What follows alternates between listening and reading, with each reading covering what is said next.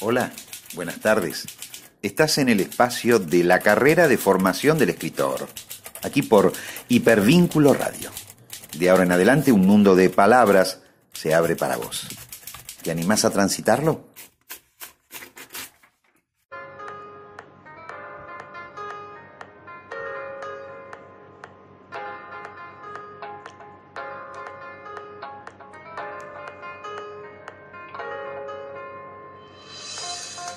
Buenas tardes a todos, ¿cómo están, queridos amigos de la carrera de formación del escritor? ¿Cómo anda ese invierno? Frío, destemplado. Pero bueno, para endulzarnos esta tarde, hoy vamos a escuchar una clase de crítica literaria. Vamos a escuchar al profesor a cargo, el licenciado Lucas Foggia, y vamos a escuchar a varios alumnos. El profesor, con la gentileza que lo caracteriza, nos va a contar acerca de esta materia, crítica literaria, el porqué de eh, que esté la carrera de formación del escritor, qué puntos se tocan, y después van a escuchar a varios alumnos con algunas reseñas tocando un tema de el nervio óptico, que es un trabajo que han hecho un texto de María Gainza. Pero por otro lado, nos propone el profesor que descubramos algunos temas de fondo de estos textos de nuestros alumnos de formación del escritor. ¿Lo escuchamos? Buenas tardes, queridos, queridas oyentes. Eh, mi nombre es Lucas Foggia. Voy a estar acá un ratito en el espacio que la carrera de formación del escritor de nuestra querida EMAC le asignó a mi cátedra, una de las cátedras que doy en la carrera, que es crítica literaria. En este ratito vamos a conversar un poco acerca de la materia, a presentarla un poquito para quienes no la conozcan a presentar qué hacemos, a qué nos dedicamos durante el año, las, 30 clases que abarca la materia, y también a presentar algunos trabajos de alumnas y alumnos eh, de este año, que son la llama que mantiene eh, en, vida a esta materia. Crítica literaria es una materia de tercer año de la carrera que tiene ciertas correlatividades con otras materias ya cursadas en años anteriores, como retórica o teoría literaria. En ella lo que hacemos es abordar, trabajar, analizar algunos artículos y algunas problemáticas que tienen que ver con el quehacer del escritor, de la escritora en bueno, su día a día y tópicos actuales, es decir, discusiones que se están dando en la actualidad, en los círculos literarios, en los talleres, en las academias que trabajan con la literatura y con la crítica. Mi propuesta en este espacio como aula taller no solamente es bueno, abordar problemas teóricos, con textos también teóricos, sino que esos problemas teóricos nos lleven a la escritura, porque no hay nada mejor para escribir, ustedes me lo dirán, lo sabrán, es no tener las cosas claras, ¿no? Es debatir las cosas, no tener una respuesta fija. Bien, todas esas preguntas que propone la crítica literaria, que son apasionantes si uno no sale de este discurso medio arrogante de algunos y algunas críticos y críticas. Em, decía, si uno se mete en estos eh, interrogantes eh, sin respuesta clara, eh, surgen un montón de temas de escritura y un montón de cuestiones a trabajar y a pasar por la pluma. La crítica literaria, entonces, no solamente es nuestra disciplina, sino también es la excusa para generar escrituras, un motor de escritura. Ah, nos propone interrogantes y esos interrogantes, bueno, nos abren el juego, nos abren el concepto de literatura que tenemos, la concepción que llevamos muy internamente, inconscientemente, eh, social, ¿no? construida socialmente, sobre la literatura y nuestro oficio como escritores y escritoras eh, argentinos y argentinas. En crítica, ¿leemos solo artículos críticos? Bueno, no. En realidad cada unidad tiene un ejemplo, un caso a analizar en profundidad, ¿sí? Que bueno, también nos permite darle forma a ciertos cuestionamientos que son un poquito abstractos. Entonces, sí, en crítica leemos literatura, analizamos literatura y escribimos literatura. Y les puedo asegurar, cuando uno conoce ciertos tópicos, cuando uno visita y analiza eh, discusiones actuales de la crítica, eso realmente influye sobre la prosa, le da consistencia a mi imaginación, a mi concepto de ficción, a la trama que puedo yo generar a partir de mis ideas, inconscientes o conscientes, sobre el oficio de escribir. También el aula taller de la materia tiene como objetivo entrenar ciertas escrituras asociadas al artículo crítico, al decir crítico, como pueden ser el ensayo, el informe o la reseña. Este último género, la reseña, es del cual vamos a leer algunas producciones de los alumnos y alumnas de este año de crítica literaria. Qué lindo que es recomendar lo que a uno le gusta, ¿no? Qué lindo poder transmitir la emoción que genera un texto y divulgar ese texto y que sea leído por otros y otras y luego intercambiar opiniones. Ahora bien, no es sencilla la tarea de recomendar. En esta cultura del me gusta fácil, de la emotividad, de la reacción de red social, muchas veces es difícil poner en palabras qué es lo que nos gusta de un texto, qué le vemos de emocionante, qué le vemos de interesante a un texto que nos conmovió, que nos movilizó y que nos hizo pensar de otra forma algunas cuestiones. Estamos rodeados de recomendaciones todos los días alguien nos recomienda un libro, una serie, una película, una ficción en términos generales, un videojuego, una aplicación, una lectura, eh, un determinado medio de comunicación, podríamos seguir, ¿no? La recomendación parece ser algo muy natural porque desde chicos y de chicas aprendemos que lo bueno se comparte y ese compartir es una expresión de generosidad. Ahora bien, lo que no es natural son las formas para hacer llegar esa comunicación, hacer llegar esa recomendación y que esa recomendación plante una semilla, es decir, llegue al otro. Una recomendación no solamente tiene que ser persuasiva, sino que tiene que ser tener determinados parámetros, ¿sí? manejarse dentro de los parámetros de lo correcto, sobre todo cuando la recomendación le va a llegar a nuestro interlocutor o interlocutora de forma escrita. ¿no? Lo que nos da eh, crítica literaria, además de todo lo que estuve mencionando, son herramientas para hacer más persuasiva y mejor desarrollada nuestra recomendación, nuestra percepción de lo escrito, de lo literario que hemos leído, ¿no es cierto? Y esperen, porque me falta decirles lo mejor. Todos estos recursos que nosotros vamos a desplegar en la materia, si la cursan en algún momento, lo que van a hacer no solamente es ayudarlos a recomendar y ser más persuasivos con sus reseñas, sino también a incentivar el estilo de su prosa. Porque una reseña no tiene que ser ampulosa, no tiene que ser formal en sentido estricto, no tiene que ser acartonada, al contrario, tiene que ser permeable al estilo, tiene que proponer frases bellas, tiene que proponer ideas de peso, ideas que llamen la atención, hipótesis que estén ahí intercaladas en las letras, en las palabras y que queden grabadas en el interlocutor, en el lector, en la lectora de esa reseña.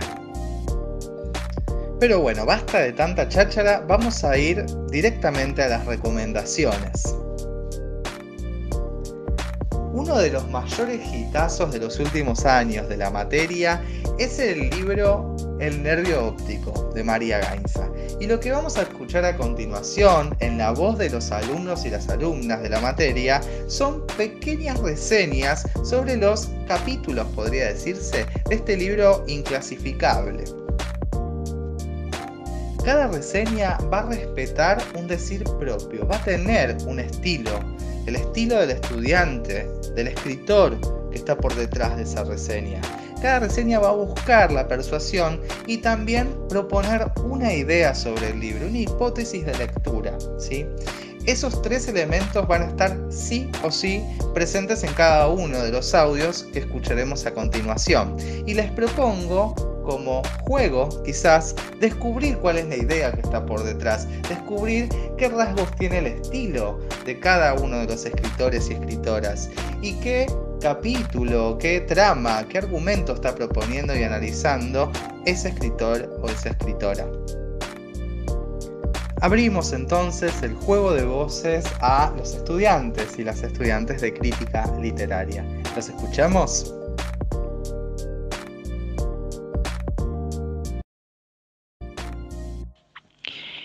Crítica literaria, carrera, formación del escritor. La reseña literaria del lector. Las ruinas son un regalo. Hubert Robert no inventó la estética del colapso, pero la llevó a la gloria.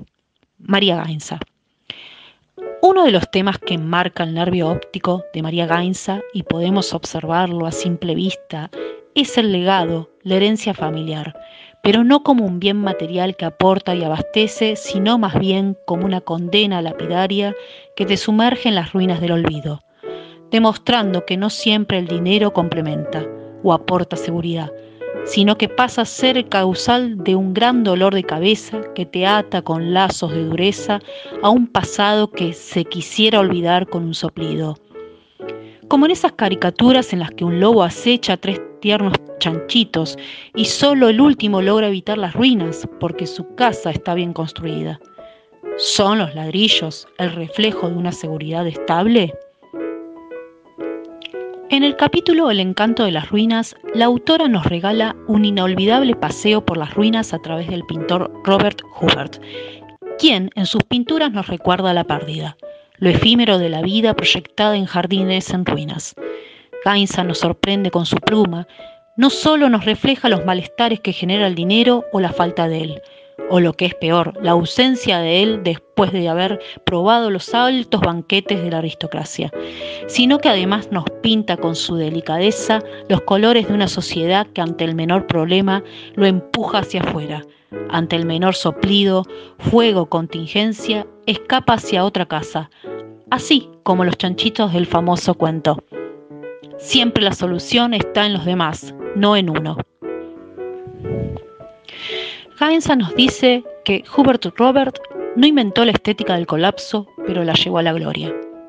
Gainza no inventó las ruinas, pero sin duda supo qué hacer con ellas, armando un rompecabezas que nos sumerge en la historia, arte y anécdotas familiares, que nos ensalza con su estilo literario sensible y puro, nos embebe con su tristeza de niña rica, nos quema con su fuego, ese fuego que recuerda a su madre, en donde solo restan cenizas, en una relación en la que sus corazones ya no arden con la misma chispa. Las astillas de los muebles viejos se clavan en nuestra piel recordándonos que la herencia familiar a veces, la gran mayoría de ellas, solo sirve para causar incendio. Cansa los crea, te estremece el corazón, te moviliza. ¿Acaso no son las ruinas una oportunidad única para renacer? Ella nos demuestra que es posible. Las ruinas pincelan el más reflexivo sentido de la vida. Nada es eterno. Pero sus palabras lo son. Quedarán sumergidas en el papel para la posterioridad, así como una esfera de cristal, fría, inerte, que nos devuelve un paisaje soñado e inmortal. María Emilia Liedo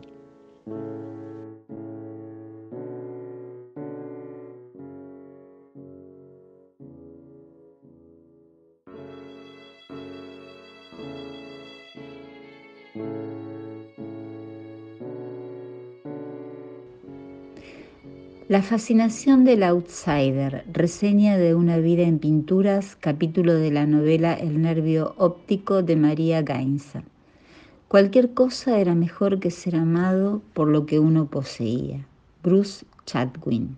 Este capítulo, al igual que toda la novela, está impregnado de continuidades y rupturas que se entrelazan a manera de vasos comunicantes por donde fluye el rojo líquido vital Así comienza la experiencia vigorosa de la autora en esta sección cuando en una visita a su oculista encuentra un póster sobre la pared, un rotco clásico, un rojo diablo sobre un rojo vino que vira al negro. Autor y pintor son transhumantes de clase social, impactados por el contexto histórico que tuvieron que transitar. En algún punto, la muerte es una prostituta que merodea sobre vidas afectadas por la enfermedad. Esta última reviste connotaciones físicas y psíquicas que, de alguna manera, Rothko y Gainza plasman en sus obras a través del arte que impacta en sus propias vidas. Rothko fue acusado en su época de prostituir su arte. Paradójicamente, sobre el desenlace de su vida, cesa un contrato millonario demostrando que su obra tiene algo de experiencia espiritual que no admite palabras y que en esta última acción excluye el dinero. Podemos abrirnos a pensar que esta búsqueda estética se homologa a la de la escritora del nervio óptico. Light Red Over Dark, Red simbolizaba para su autor lo que finalmente sucedió.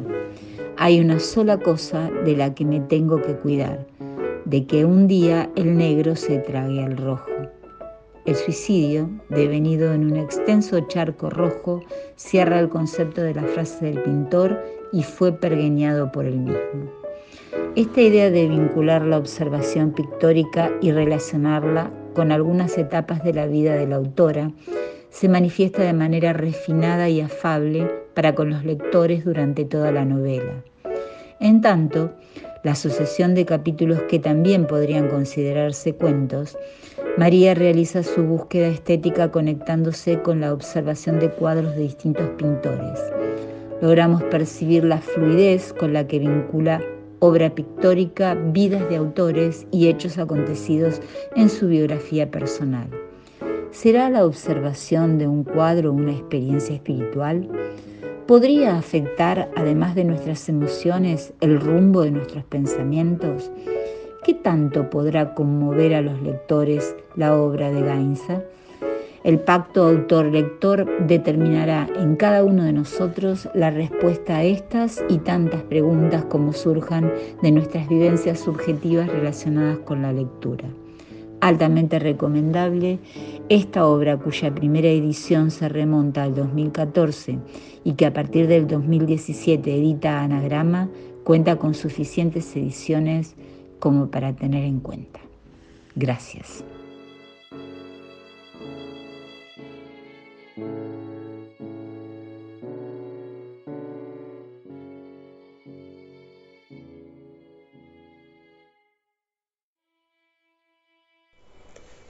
Reseña literaria. No te olvides al volar tocar una estrella. Volar no es solo el arte de los pájaros, sino también el arte de los artistas. Mehmet Murat Ildam. Me gustaría hacer una digresión antes de comenzar a hacer la reseña sobre uno de los capítulos de la novela de la escritora María Gainza, El nervio óptico.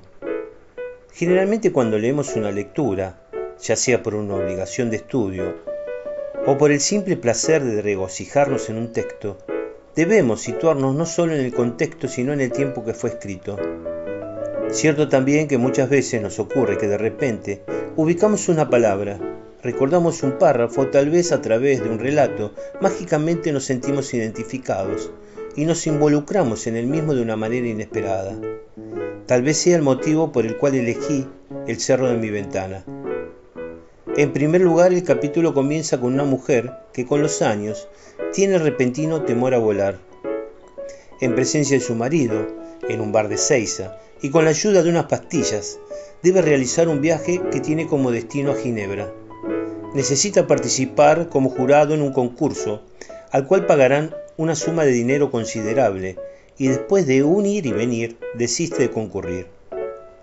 Luego utiliza una atrapante analogía donde el escritor impregna a su relato la vida del pintor francés Henri Rousseau y explica cómo llega a ser uno de los mejores a pesar de las circunstancias de su vida. Posteriormente, el pintor rompe paradigmas de una época en donde comienza a volar con sus lienzos.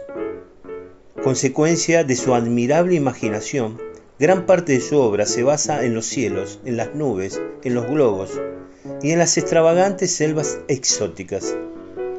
Obviamente la narradora analiza las disímiles diferencias personales que tiene sobre los aviones y los globos aerostáticos, trazando un paralelismo interesante sobre ambos.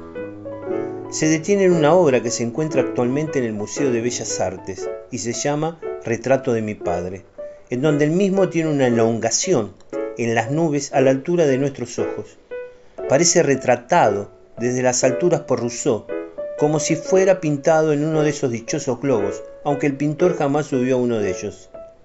El tema del capítulo consiste en dilucidar cuando subimos algunos peldaños en la finitud de nuestras vidas, si en realidad tenemos esa tendencia de vivir con menos.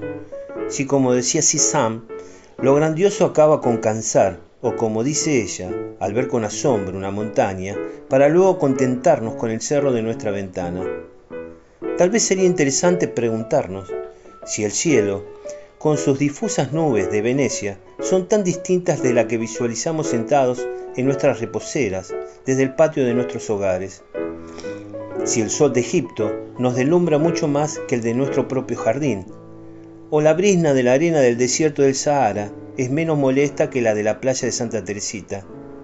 Quizás nos demos cuenta, cuando apenas nos quedan algunos escalones por subir, que no necesitamos de tanto, ni tanto estrés, ni tanto sacrificio, ni tanto cansancio, que la vida es mucho más simple en sus formas de vuelo y por ende percibamos al espacio y al tiempo de una manera diferente. Muchas gracias. Reseña literaria de uno de los capítulos del libro de la escritora María Gainza, El nervio óptico. Con título Frente al hipódromo, el texto comienza con un epígrafe del escritor Aldous Huxley que dice: El recuerdo de todo hombre es su literatura privada.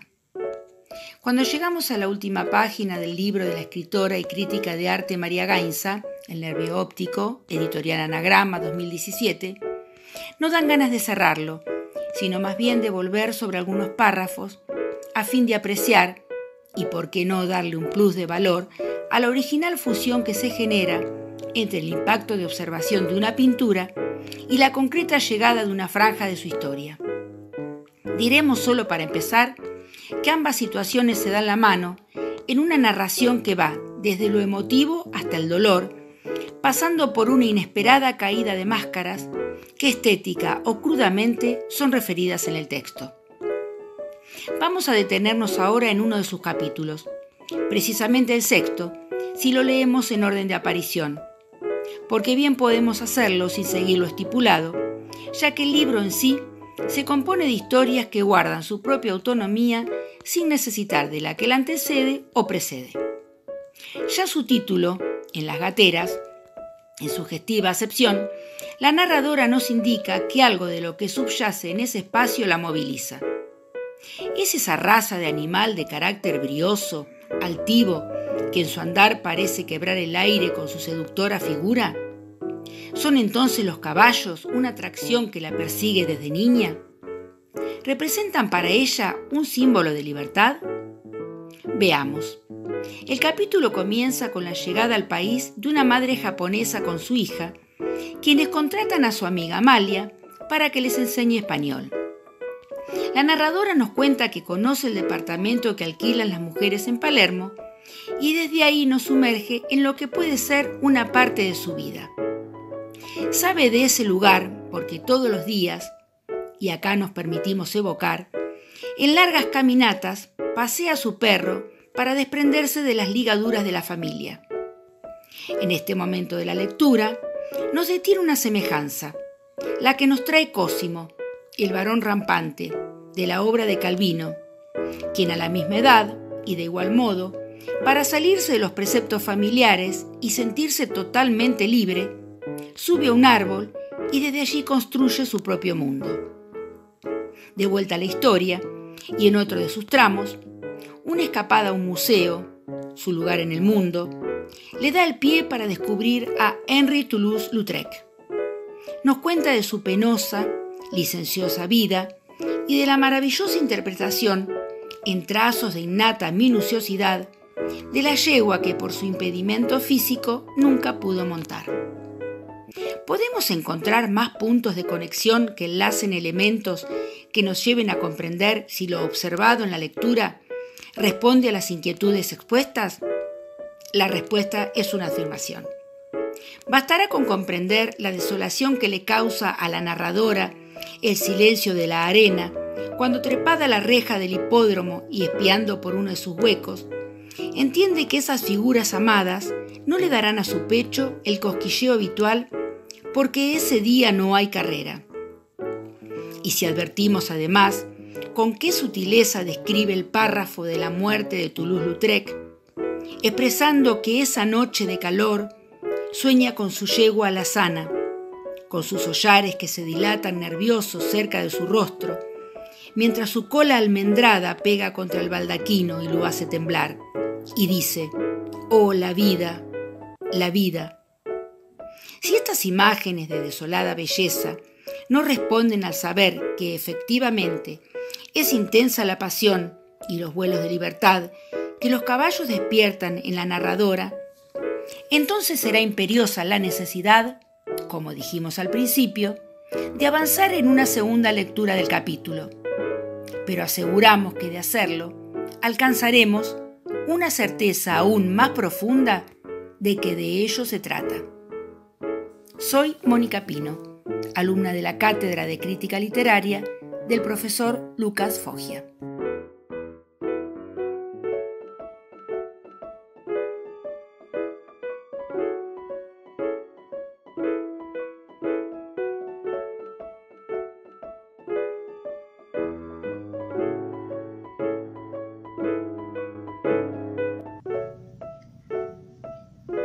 Gainza y la necesidad de burlar a la muerte. Quizá no sea tan mala idea terminar siendo un fantasma. Rappers lo llaman los ingleses. El nervio óptico es una obra literaria que puede calificarse de novela compuesta de anécdotas autobiográficas entremezcladas con otros relatos. Se trata de una serie de 11 capítulos en cada uno de los cuales se habla de una obra pictórica, de aconteceres del artista que la creó y a la que de alguna manera la autora asocia con un episodio de su vida. Aunque los capítulos se suceden en forma anacrónica respecto de a estas anécdotas personales, son ellas las que le dan unidad al relato y esa discontinuidad temporal hace que lo narrado sea una especie de moroso serpentear entre recuerdos. Sir Rapper es el décimo y anteúltimo capítulo de esta particular obra. En él la autora discurre sobre su niñez, su vejez y finalmente sobre la muerte, y más allá aún. Hacer una sinopsis del argumento requiere una mente atlética. La historia inicia en el presente actual, relatándonos una charla con su amigo Fabiolo. Salta al pasado más reciente con un cuadro de Schiavoni. Se va más al pasado con el viaje de ese pintor a Europa y su visita a una vidente. Retrocede aún más en el tiempo con la historia de la vidente. Vuelve a la, a la sesión con la vidente y a las sesiones subsiguientes, viene al presente, a una charla con su amigo, va nuevamente hacia atrás a su niñez, va y viene, se detiene en un momento de su vida actual. Soy una mujer parada en el ecuador de su vida, pero aún guardo algunos trucos en la cartera, nos dice antes de abordar el tema de la vejez y se dispara con un cuadro de Victorica, Viene al pasado reciente, vuelve hacia atrás recordando visitas a geriátricos y en un último salto divaga sobre su curiosidad de saber qué tipo de ancianidad le espera y sobre la posibilidad de ser un fantasma. Todo eso en 10 páginas. Lo notable es que esta especie de decatrón retórico transcurre naturalmente y arrastra al lector de manera fluida y clara.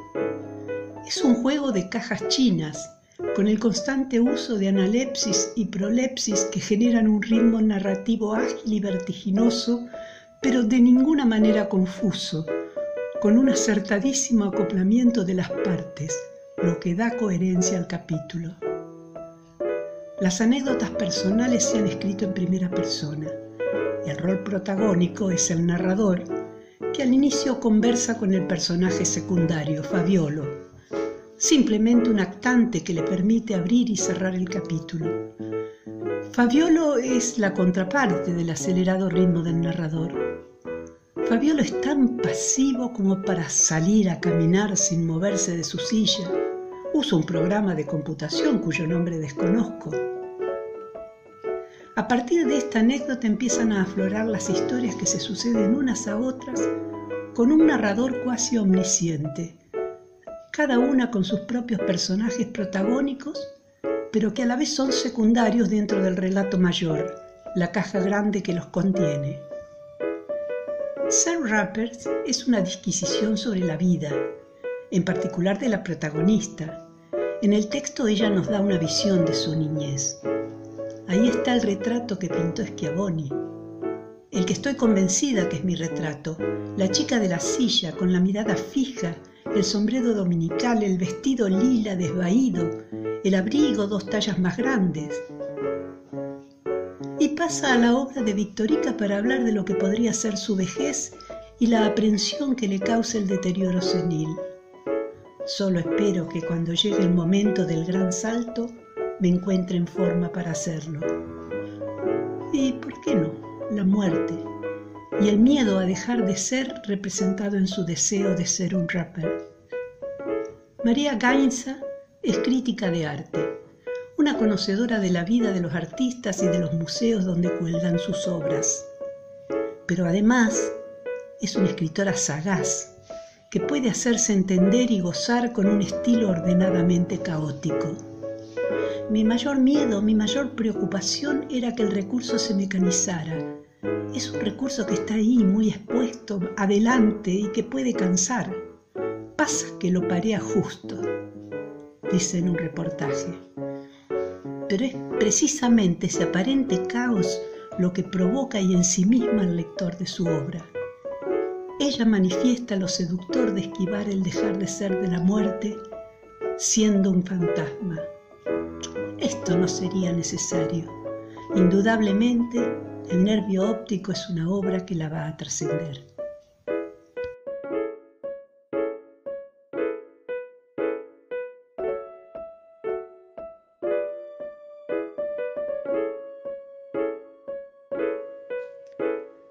Qué lindo, qué lindo es escuchar a los autores leyéndose a sí mismos, escuchar la creatividad que puede despertar un texto de ficción, un texto novedoso. Yo creo que después de todo esto hay que mandarle el programa a María Gainza, lo llegar de alguna forma, para que vea y se emocione con la creatividad que despertó, la invención, la escritura que despertó en colegas escritoras y escritores en crítica literaria.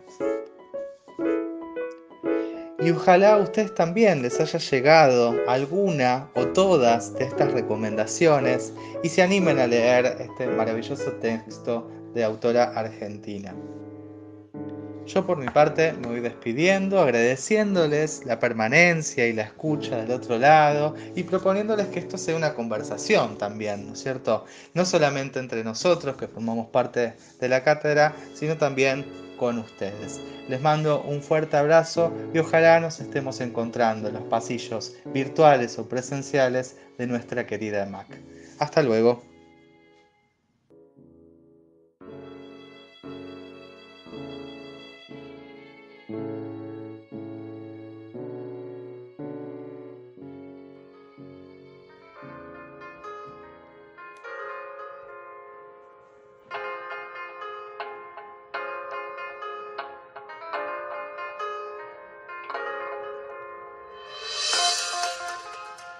Interesante, ¿no? Qué bueno escuchar cómo producen, elaboran, recrean los alumnos de formación del, del escritor. Los felicito y felicito también al profesor por el nivel que le está dando a nuestra carrera. Realmente espero que ustedes hayan podido descifrar la propuesta de la Cátedra de Crítica Literaria. ¿Han podido sacar sus conclusiones?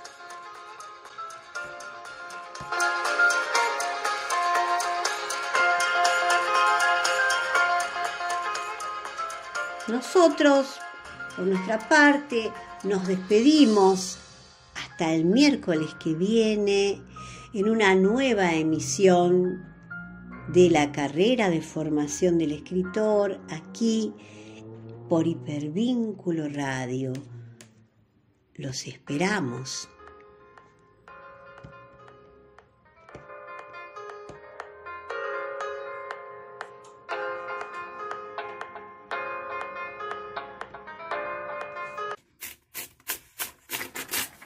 Punto final para el programa de hoy. Hasta el próximo miércoles a las 17, hora en que Formación del Escritor abrirá sus puertas y sus secretos para vos. Recordalo, solo para vos.